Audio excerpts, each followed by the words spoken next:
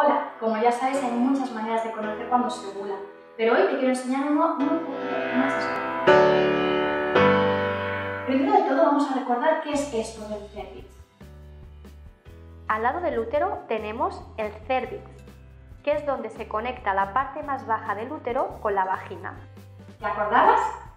Pues bien, el cervix o cuello del útero es el punto de unión entre el útero y la vagina.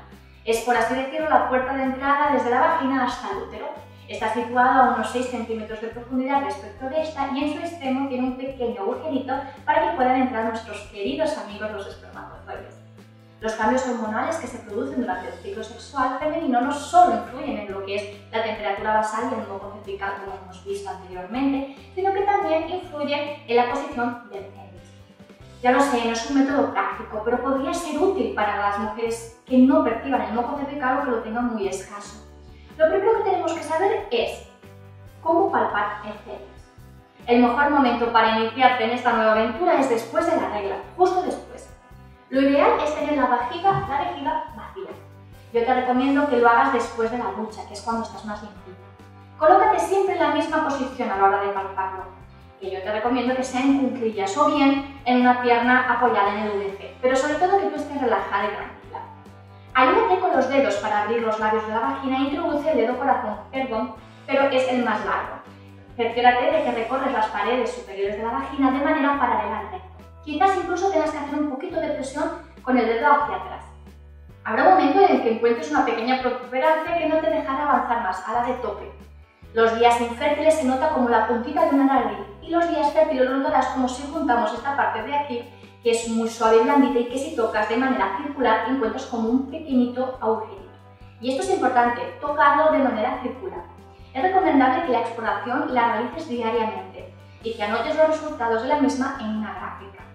Una vez que hemos encontrado, que no te va a ser fácil al principio, porque siempre cuesta un poquito, pero que luego lo botarás a la primera. Yo, por ejemplo, lo tenía un poco más desviado a la izquierda y me costó un poquito más, pero luego ya, así que cuando ya lo tienes ya encontrado, te tienes que saber cómo entendemos el cervix. Pues gracias a su posición, firmeza y apertura, nos puede orientar sobre nuestros días fértiles y no fértiles.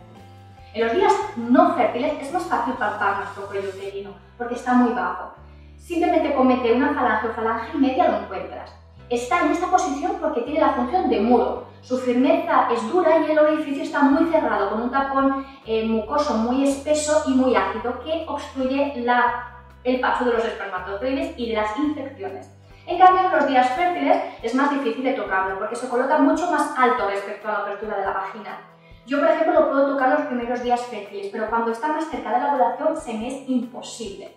En este momento se hace más blando y se abre favoreciendo así los espermatozoides que pasan los espermatozoides hacia el útero. En la fase de ovulación el cervix aumenta la producción de moco compuesto por un mayor porcentaje de agua, es más acuoso. Este moco es menos ácido y por lo tanto menos hostil a los espermatozoides.